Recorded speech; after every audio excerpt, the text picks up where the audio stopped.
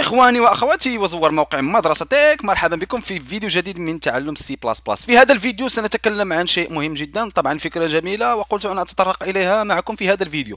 الفكرة وهي أننا سنقوم بحساب ما يوجد داخل المصفوفة. كيف نقوم بذلك؟ طبعا إذا طلبت منك أن تقوم بحساب مثلا نفترض نأخذ مثلا نأخذ مثلا هذه الأرقام. نقول مثلا النتيجة النتيجة الخاصة بك. النتيجة بهذا الشكل ثم نعطي لتلك النتيجة مثلا ستة.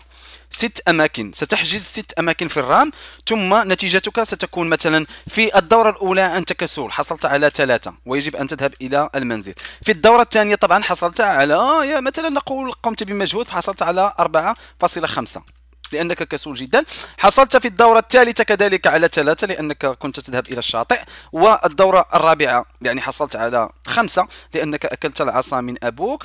ونقول نفترض مثلا أنك نجحت يعني نزلت طلعت إلى ستة ثم نجحت بستة. طبعا الآن أنت تريد أن تقوم بحساب مجموع يعني ال ال يعني النتائج التي حصلت عليها. كيف سنقوم بحساب النتائج؟ طبعا كيف سنقوم بذلك؟ وهو أننا سنتبع هذه الطريقة الآن. طبعا إذا طلبت منك هذه الطريقة يمكنك استعمال مثلا هذه الطريقة. مثلا لنفترض نأخذ متغير آخر ونسميه التوتال الخاص بالنتيجة ونعطيه صفر لأنه طبعا ستبدأ من صفر لأن ال total ليس به أي رقم. وستذهب وستكتب مثلا total تساوي مثلا نتيجة نتيجة مثلا النتيجة الموجودة في مكان صفر زائد النتيجة الموجودة في المكان واحد زائد النتيجة الموجودة في بالالايز طالالاي وهذه الطريقة يعني مملة جدا. لماذا؟ لأنه في حالة ما كان لديك يعني عدد كبير من التلاميذ فهذه الطريقة ستأخذ منك سنوات لكتابة فقط سكريبت واحد.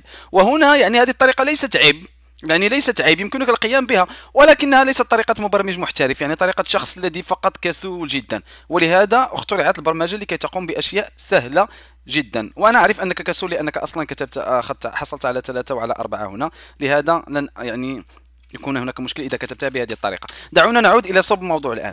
إذا سنقوم بالعملية عن طريق ال for loop. كيف نستعمل ال for loop لحساب النتائج؟ سنقوم بال for. كما قلنا فطريقة ال for loop تعرفون كيف طريقة كتابتها؟ سنأخذ مثلا int ونسميه مثلا x. دائما نستعمل x لكي نسهل علينا الأمر, الأمر. ثم نبدأ دائما من صفر. ونقول أن x أصغر من آه نعطيه من خمسة. أو نقول مثلا x أصغر من ستة يعني لا نريد أن من إكس أن يتعدى ستة لأن آه، الذاكرة لأن البرنامج حجز فقط ست أماكن في الذاكرة ولم يحجز أكثر. وإذا ذهب البرنامج فوق ستة سيكون هناك كراش أو ما يسمى يعني بعطب في البرنامج مما قد يؤدي إلى توقفه. ثم نأتي ونأخذ x++ ثم سنضع هنا البرنامج الذي سنشتغل عليه. فهمنا فيما قبل أننا يمكننا إضافة باستعمال زائد. طبعا سنستعمل الزيادة الآن هنا. إذا ماذا فعلنا هنا؟ أخذنا متغير.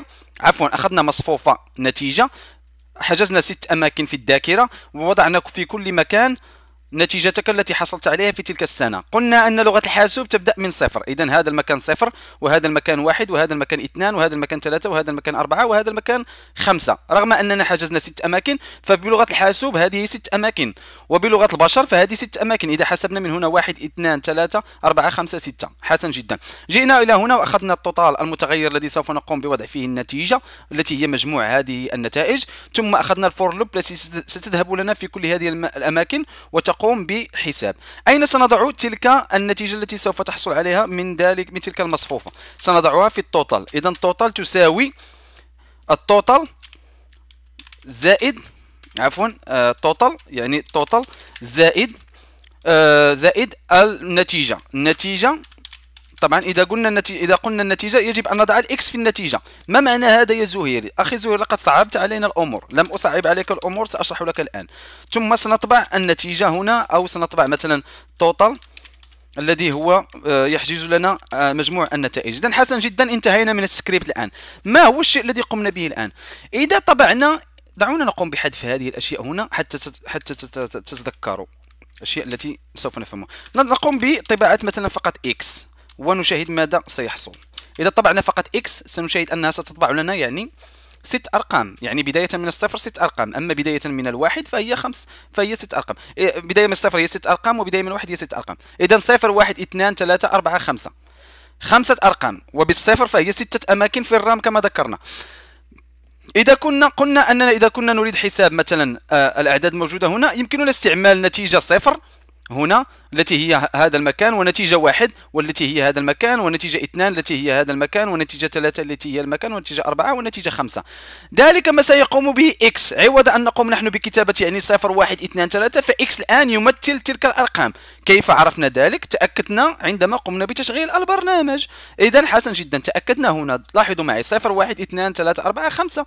إذا ماذا سنفعل؟ سنأخذ ال total كما قلنا سأقوم بكتابة ذلك الكود. سنأخذ ال total الذي هو المجموع هنا يساوي صفر وسنقول أن ال total تساوي ال total زائد النتيجة.